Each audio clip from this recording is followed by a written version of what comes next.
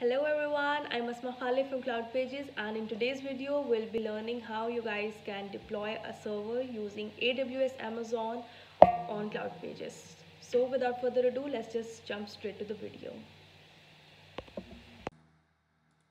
Okay, so first of all you have to log into your AWS console. So this is going to be your dashboard. From here you can search for EC2 select EC2 from the left hand side menu, simply select instances and click on launch instance.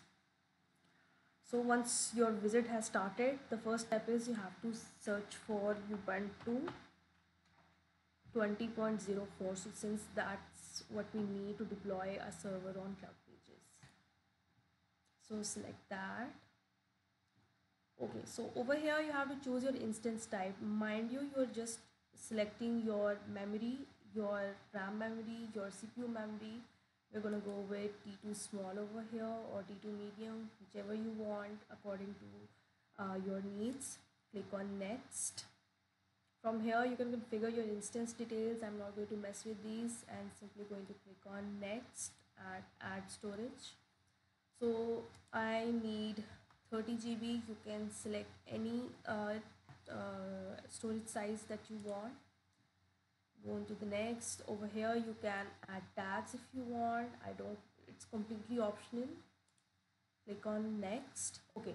So uh, you have to configure your security group. We need five rules. Ssh uh, http https custom udp and custom tcp so we're going to add all of those rules. Or we already have ssh over here. I'm going to add http next i need https okay next i need custom tcp rule. With tcp i need 20.83 port and my ip will be same as above. Next rule that i need will be custom udp rule. With that i need 443 port and same as above. It's quite simple. So once you do that click on review and launch. Now over here you can review your instance before launching. Click on launch. Okay so you can either choose an existing key or you can add a new key. I'm going to choose an existing key which is key 1 i'm going to select i acknowledge and click on launch instance. So once you click on that your instance has been launched. So next we need is an elastic ip since with other providers we already have a static IP and we don't we don't need an elastic IP but but with AWS Amazon we need an elastic IP since if we turn off and turn it back on our IP will change. So to get over that problem we need an uh, we need an elastic IP so simply click on your instance. From here scroll down and go into network and security and click on elastic IPs. Now click on allocate elastic IP. Scroll down and click on allocate. So this is going to be our new IP. Click on allocate elastic IP. Oh sorry, simply click on your IP over here and click on associate elastic IP address. From here you can select your instance and click on associate and that's all you have to do to associate your IP with an instance. You can see already that it has been linked. So click on instances from the left hand side menu, select your instance and you'll see that a new elastic IP has been allocated to this so once you do that we need to connect it. Now this is going to, of course going to take a couple of minutes. So you can refresh it from over here. This is our elastic IP this was our public IP and this is going to be our elastic IP or simply refresh your page and you'll see that our button is ready to be used. So our instance state is running and we can connect it click on connect. Good to go? Click on connect.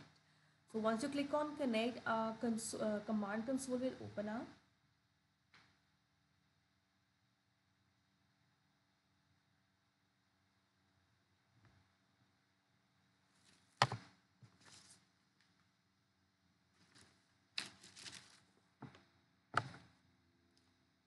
Okay, so once your command console is open up, we can associate it with, start associating with Cloud Pages now. So simply write sudo space su space dash and click enter. Okay guys, so now what we're going to do is go into your Cloud Pages dashboard. From here, select your project and in your project click on deploy manually enter your server name over here. Our server name is going to be server 1 now our server IP is going to be this public IP address the elastic IP that we just created. Paste it over here and click on deploy server.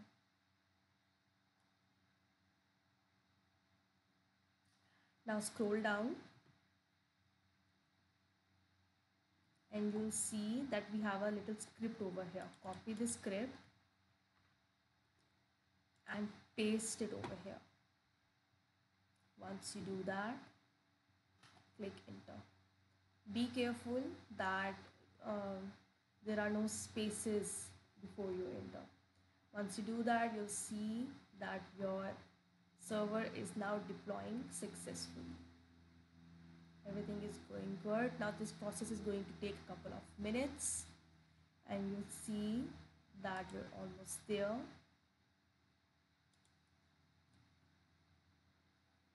And you can see that your process is running over here now this process is going to take a couple of minutes so just wait for it and of course you can close this window while your server is being deployed. You can easily go back and do whatever you're doing uh, within your cloud pages platform.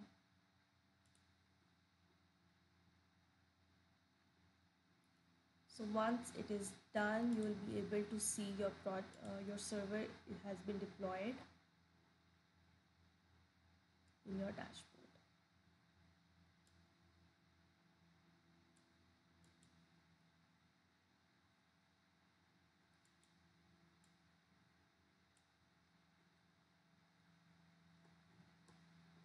So our server has been deployed over here. You can see the location, the IP and it is ready for you to use.